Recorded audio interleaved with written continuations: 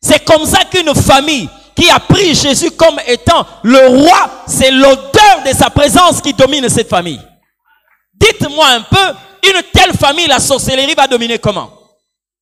Parce que l'agneau est dedans. C'est comme la Bible dit, Judas est devenu un sanctuaire. C'est là où Dieu est venu demeurer. Mais plusieurs personnes qui croient être plus propres que Dieu ne veulent pas de cette odeur, mais ne sachant pas que cette odeur qui est en train de leur sauver. Dites-moi un peu, entre avoir une maison qui sent bon, où la mort peut entrer facilement, et une maison qui sent les excréments d'un agneau, mais où la mort peut rester à la porte, vous préférez quoi?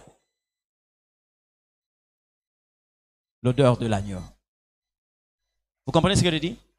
Il y a des gens aujourd'hui qui veulent régner avec Jésus, mais qui ne veulent pas être éprouvés avec Jésus.